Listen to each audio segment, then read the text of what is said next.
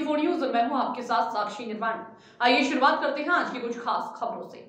भारत तिब्बत सीमा police अकादमी में एक वर्ष के कठिन प्रशिक्षण प्राप्त करने के उपरांत 45 अधिकारी, जिनमें पाँच महिला सहायक सेनानी बल की मुख्यधारा में शामिल हुए इन अधिकारियों को कठोर एवं लंबे प्रशिक्षण के दौरान युद्ध कौशल, शस्त्र चलाना, शारीरिक प्रशिक्षण अधिसूचना, मानचित्र अध्ययन, सैन्य प्रशासन, कानून और मानवाधिकार जैसे सैन्य और पुलिस संबंधित विषयों का गहन प्रशिक्षण दिया गया।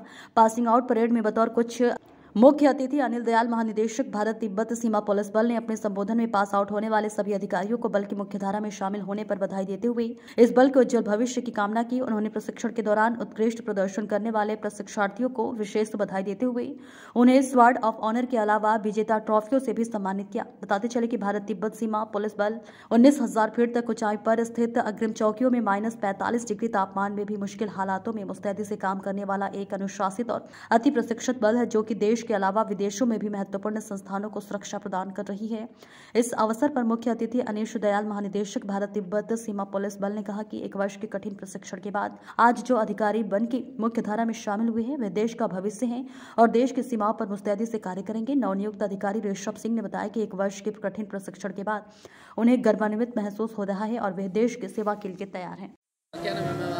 Doctor Amanpreet Kaur A C M O ma'am क्या कैसा लग रहा है आज जो है वो एक लंबे अंतराल के बाद इतनी मेहनत के बाद this is a really this is really a very good experience and we I want I just want कि every girl should come here and gain a new experience and join I T B P और any other force they want to join कहाँ से प्रेरणा मिली आई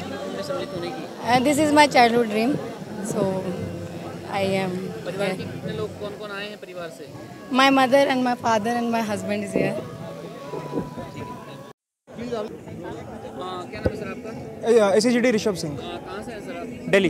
हाँ, कैसा लग रहा है आज जो है वो इतने टाइम की मेहनत जो है वो सफल हो गई है कहीं ना कहीं? अच्छा लग रहा है एक साल बहुत हार्ड ट्रेनिंग थी हमने बहुत वेट किया इस दिन का। आ, दूसरे बैच की पीओपी हुई थी तो भी हम देख रहे थे कि हमारा भी कभी दिन आएगा तो अच्छा लग रहा है। कहाँ से प्रेरणा मिली जो है वो मुझे हमेशा से शौक था फोर्सेज में जाने का मूवीज़ देखकर ये सब देखकर। तो आज फैमिली से कौन कौन आए हैं? फैमिली से पेरेंट्स आए हैं फियोन से आई है उसके पेरेंट्स आए हैं मामी जी आई हैं और मासी जी आई हैं। कितना मज़ा आ रहा है? अच्छा लग रहा है। आई टी पी का जैसे आप लोग जानते हैं आज हमारा पासिंग आउट परेड था। ये हमारा assistant command general duty course जो होता है उसमें उसके 22 अधिकारी थे पास आउट हुए हैं जिसमें एक महिला अधिकारी भी थे। और जियो कॉम्पिटिशन जिसमें कि हमारे अदर दैन जी डी जो हमारे स्पेशलाइज कार्डर के ऑफिसर्स होते हैं, जैसे डॉक्टर वेटनरी ऑफिसर्स इंजीनियर्स वगैरह, उनका अलग से ट्रेनिंग चलता है पच्चीस हफ़्ते का, एक बैच वो था। उसमें तेईस अधिकारी थे, जिसमें चार महिलाएँ थी।